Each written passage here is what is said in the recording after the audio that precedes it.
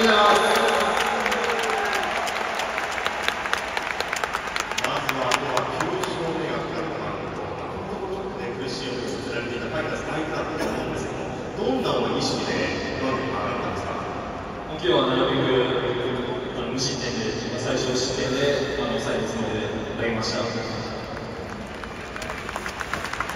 ういった中で少し我慢のピッチングもあったかなと思うんですけども、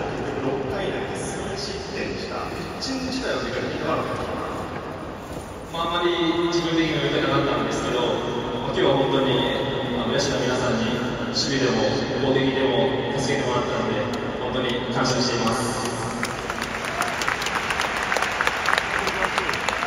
本当に粘りのピッチング、6回の同点に追いつかれた後のそのフォアボールに入って、連発でしたが、そこまずどうご覧になっていたんですか？自分としてもこの回だけは、まあ、絶対抑えるぞという気持ちで、あのあとは絶対あの野手の皆さんがあの点取ってくれると信じていたんで、あそこはもう最後の力を振り絞って投げました。そして信じた結果、本当に味方打線が2点、そして勝ち投手で、ね、権利をくれました、まあ、佐藤選手も先ほどね、ルーキー、頑張っているのでという言葉も聞かれましたけど、改めてそういったことがいかがですか？えーまあ、いつも声をかけてくれかけてくれるので、とても嬉しいですし、そういうのはやっぱり励みになっているので、や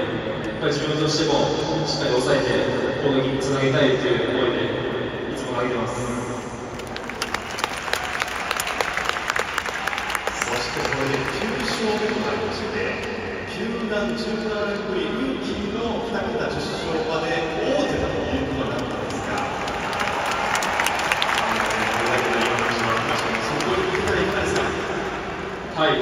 えーまあ、あと1勝というところですけど、まあ、あと1試合しかないので、本当に最後の力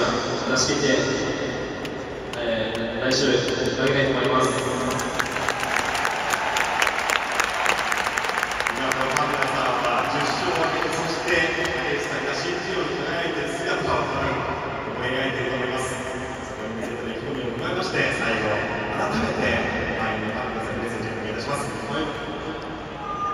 えー、はい、あのファンの皆さんが喜んでもらえるように、最後、絶対頑張るので、